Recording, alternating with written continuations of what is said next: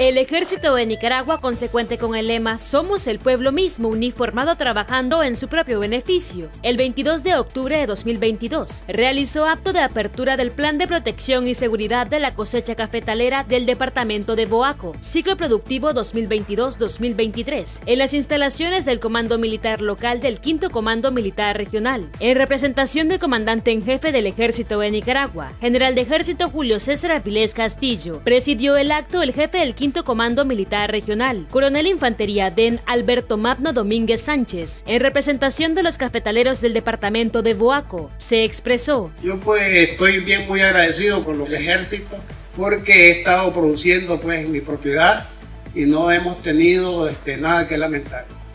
Quiero decirle que delito cero. Yo pues agradezco mucho al ejército por la gran protección de que nos han brindado y yo creo que todos los productores tenemos que estar agradecidos con todo lo que ha hecho el ejército no solo únicamente lo que es la cosecha cafetalera, resguarda el ejército, sino que con, con las embestidas de los huracanes, las depresiones tropicales, incendios, y está el ejército también presente. En representación de los cafetaleros del municipio de Camuapa, se expresó. Reconocemos el gran esfuerzo que hace el ejército, no solo en este campo, sino cuidándolos a los productores, a los ganaderos, no solamente en estas fechas, prácticamente es una labor que ellos realizan todo el tiempo. Hoy en día los nicaragüenses gozamos de una paz que esto nos hace seguir adelante. Por cierto, quería agradecer al ejército por habernos reparado el camino que lleva a nuestra comunidad. Ya van dos años prácticamente que el ejército con sus recursos nos repara ese camino. Tenemos la seguridad de que vamos a estar protegidos, de que vamos a levantar nuestra cosecha con seguridad. Gracias a ustedes, gracias al mando del ejército por permitir llevar a cabo este plan durante su intervención, el jefe del Quinto Comando Militar Regional transmitió el saludo del comandante en jefe y en sus palabras destacó. Y hoy realizamos nuestro lanzamiento de plan de protección y seguridad